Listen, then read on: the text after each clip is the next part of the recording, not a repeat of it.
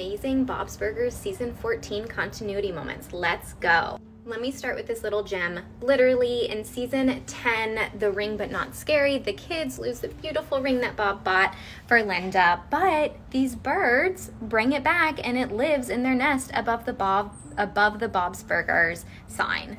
In the season 14's The Amazing Rudy, the first shot we start at the restaurant with these birds and look right there. There is the ring that Bob has lost. We found so many more great continuity details from season 14. If you want to see them all, one, spoiler alert, includes Nat. Head over to our YouTube where you can watch all seven of the amazing continuity moments we found. The link is in our Instagram bio or on our YouTube page.